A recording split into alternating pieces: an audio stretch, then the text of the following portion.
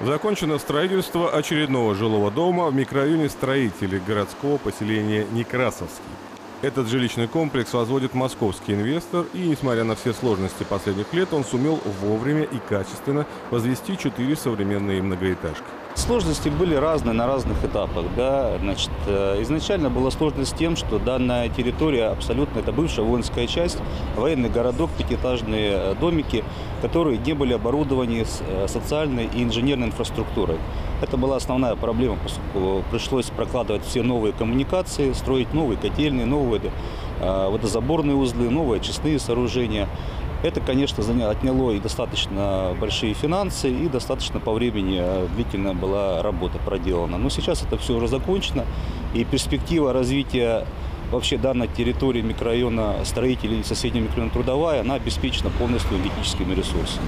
Застройщик также возвел рядом предусмотренный проектом автономную котельную, отремонтировал местную школу, детский сад, построил храм в честь иконы Божьей Матери «Нечаянная радость». Согласно проекту планировки нового жилищного комплекса, затем неподалеку будет построен большой торговый центр, а также ледовый центр.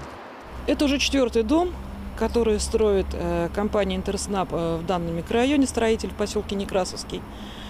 Э, и на первых порах первые два дома, которые расположены вот за той стороной, за этими домами, ну, были, конечно, подводные камни, нарушения. Нарушения в качестве там, бетонных работ, строительства, организации строительного процесса.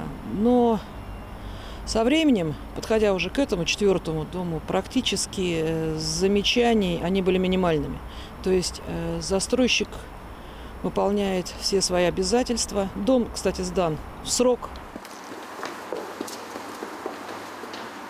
Беспокоит только то, что в этом населенном пункте практически не создаются предприятия с новыми рабочими местами.